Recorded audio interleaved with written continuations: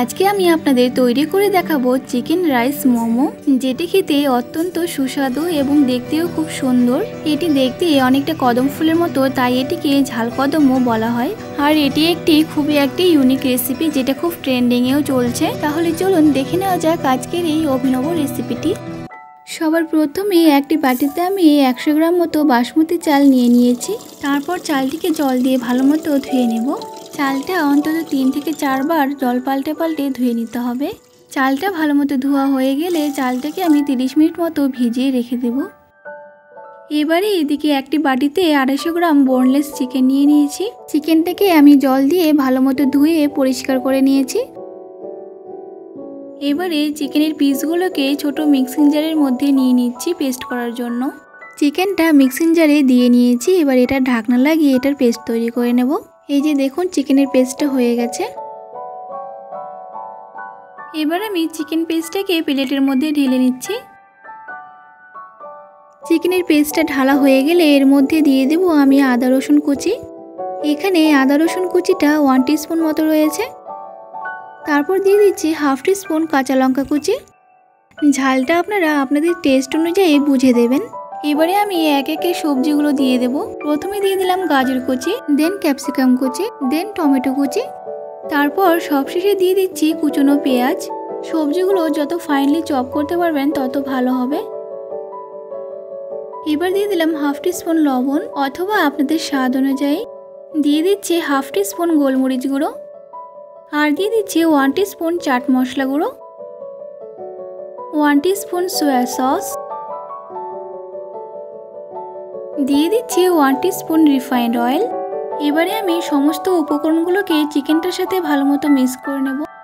আপনারা চাইলে এর মধ্যে বাইন্ডিংয়ের জন্য কর্নফ্লাওয়ারেরও ব্যবহার করতে পারেন। তবে কর্নফ্লাওয়ার ছাড়াই আমি এই চিকেন রাইস মোমোটাকে করেছি। এতেও বাইন্ডিংটা ভালোই হয়েছে। চিকেনের মিশ্রণটা মাখা হয়ে গেলে হাতের তালুতে একটু তেল নিয়ে এইভাবে আমি গোল গোল করে শেপ দিয়ে নেব। এই যে দেখুন, চিকেনের মিশ্রণটা দিয়ে আমি কত সুন্দর একটা বল তৈরি করে নিলাম। এরপর আমি এই চিকেনের বলটাকে বাসমতি চালের সাথে ভালো মতো কোটিং করে নেব। তিরিশ মিনিট চালটা ভিজিয়ে নেওয়ার পর আমি চালটাকে জল ঝরিয়ে এইভাবে প্লেটের মধ্যে ছড়িয়ে নিয়েছি, যাতে চিকেনের বলগুলো এইভাবে কোটিং করতে সুবিধা হয়। এইভাবে চালগুলোকে হাত দিয়ে এইভাবে চেপে চেপে দেব, যাতে চিকেনের বলটির গায়ে চালগুলো ভালো মতো আটকে যায়। দেখুন, চিকেনের বলটা আমি ভালো মতো কোটিং করে নিয়েছি। চিকেন বলটির গায়ে এই চালগুলো ভালো মতো লেগে গেলে এটাকে আমি আলাদা করে প্লেটে রেখে দিলাম। একই পদ্ধতিতে আমি সমস্ত চিকেনের বলগুলোকে রেডি করে নেব। চিকেনের বলগুলি তৈরি করার সময় চিকেনের মিশ্রণটা যদি হাতের মধ্যে লেগে যায়, তাহলে সেক্ষেত্রে হাতের মধ্যে জলের বা তেলের ব্যবহার করতে পারেন। দেখুন, আমার আরেকটি চিকেনের বল তৈরি হয়ে গেল।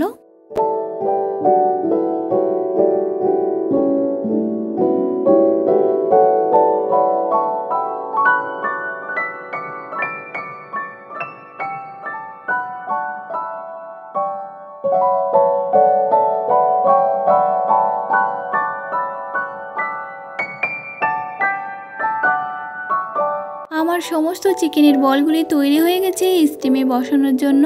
আমি একটা পাত্রে জল গরম করতে বসিয়ে দিয়েছি। তারপর তার উপর ফুটোওয়ালা বাটি দিয়ে আমি এই চিকেনের বলগুলো বসিয়ে দিয়েছিলাম। চিকেনের বলগুলি দেওয়া হয়ে গেলে এটিকে আমি ঢাকা দিয়ে রেখেছিলাম পনেরো থেকে কুড়ি মিনিটের জন্য। মিডিয়াম ফ্লেমে এটিকে ভালো মতো স্টিম করে নিয়েছি। কুড়ি মিনিট পর আমি এগুলোকে আমি ঢাকনা খুলে দেখে নিচ্ছি। এগুলো একদম ভালো মতো কুক হয়ে গেছে।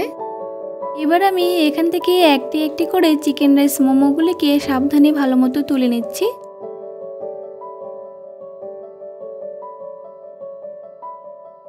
এবার আমি এই চিকেন রাইস মোমোটির উপরে হালকা করে হলুদ গুঁড়ো ছিটিয়ে দিচ্ছি।